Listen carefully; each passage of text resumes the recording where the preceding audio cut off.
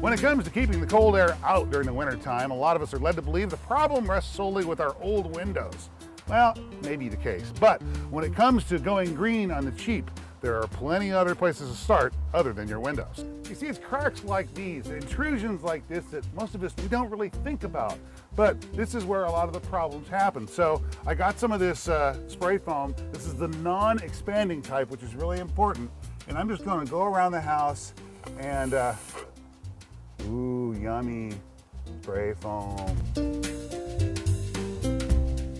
Again, it's not one of the most beautiful things to look at, but hopefully it'll get us through the winter and we'll save some money doing it. Weather stripping. I, I know it's not sexy to talk about weather stripping, but you'd be amazed how much air moves through here, especially after my cat has done a rotisserie action on my doggone weather stripping. So I'm gonna take this out.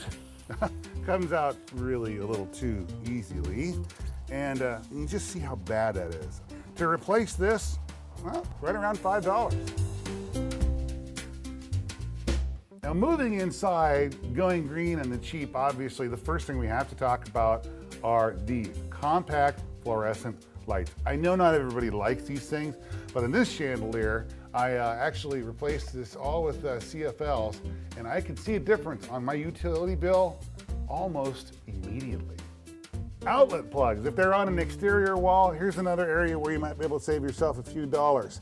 Go ahead and take the plate cover off, and what happens a lot of the time is air that does manage to get into your exterior wall, well, this is just a, a, a freeway, a, a, very readily conduit for that cold air to intrude into your living spaces. So we're gonna try to, well, we can't stop it completely. We're gonna try to slow it down with this, dun da da da. Know exactly what you call these. They're just little insulating, little bit of foam. And it fits right over the outlet like that. You put the cover back on and bingo.